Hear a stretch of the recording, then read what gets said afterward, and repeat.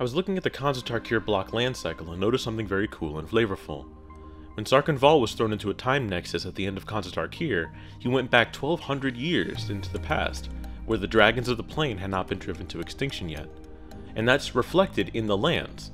The ancient ruins shown in the basic lands of Khans of Tarkir are shown in their original glory in the next set Fate Reforged before they were destroyed. Isn't that awesome? Merch. Like, comment, subscribe. Hello, welcome to Back to Basics, a show where I take EDH commanders and try to find the perfect basic lands to fit them. I love seeing someone sit down with some beautiful basic lands, but something I love even more is seeing how well those lands match their commanders. One quick note before we begin. I like to give the artists credit for their artworks, but I may not pronounce their names perfectly. I'll try my best, but please forgive me and correct me if that ever happens. So, starting things off, we have Wilhelt the Rot Cleaver. The thing I like about Wilhelt's style is that it's not as deep a blue as we see in many other Dimir multicolored cards. The light radiating from his axe is almost a cyan, which makes color matching him with other blue-hued basics a bit of a difficulty, with it being so neon of a color. But for him I had two different variations. The first combo is this island from Commander 14, made by Richard Wright, and this swamp made by Andreas Rocha from Jumpstart.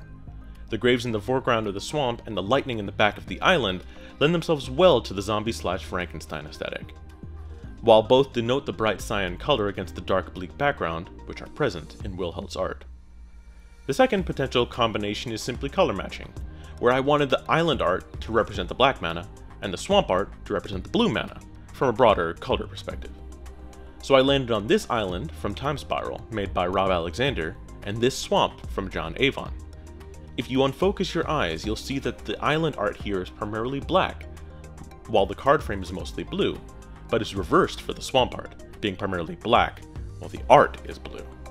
Next up we have Prosper Tome-Bound, which was a treat to try to match up correctly. So if you look at his art, you'll see something that doesn't match many other Rakdos colored commanders. You'll see a large selection of purple and violet hues, which accent the reds and blacks of his skin and his card frame. Secondly, you see chains, which thematically were fun to try to find in the card arts. So I landed on these two lands here that I think capture it very well. This swamp from the Rakdos Guild Kit, illustrated by Dimitar Marinski, and this mountain from Theros Beyond Death, illustrated by Sam Burley. The art from the swamp has a chain fence post, with color matching elements of the reds and blacks, blues and the gold, while the art from the mountain has two massive chains holding the landscape up, with bright bluish purple hues that are exceptionally rare in mountain artworks. But they match up perfectly here.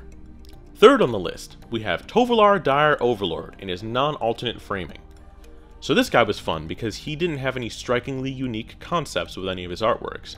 However, he has some very unique thematic and mechanical elements. The day and night focus is something that is rarely done in popular commanders, so I wanted to highlight it here. So I have this mountain and this forest from Avacyn Restored, illustrated by Eytan Zana, but coupled with their nighttime counterparts from Innistrad, so you can simulate the moon rising and falling while you track daybound and nightbound. Fourth up, we have Tovolar again, but this time I wanted to highlight his alternate framing. This was important to me because of how unique his alt frame is from his non-alt frame. The autumnal vibe was just exploding out from these two sides of this card, and I felt like if you had this copy of Tovolar and were trying to match the colors up, you would need something that matched that specific aesthetic. So I went with this forest created by Jung Park from Avacyn Restored, and this mountain from the Asia Pacific Land Program, illustrated by Heather Hudson. The only flaw with this pairing is that there is only one physical copy of this mountain art, which makes it super expensive and kind of unrealistic to use for an entire deck. So for our wider player base we needed a different solution. So check out this different pairing. This mountain from Modern Horizons 2 by Tony Szczudlo, and this forest from Theros by Adam Paquette that does have the sunset color theme that we're going for. And for number 5, we've got Yuriko the Tiger Shadow, a super popular commander. So the thing that immediately caught my eye again was how much the violet appears in the imagery, so we needed to find a good land source that could match the purple hues without getting too blue. So we ended up with this island from M15, illustrated by Florian de Gesincourt, and this swamp from Battle of Zendikar, illustrated by Jung Park. Side note, there is a full art version of this land, but I thought it might be nice to have these two card frame styles match as best as possible. As for her flavor and for her mechanics aspect, this was a little bit more difficult than you might expect.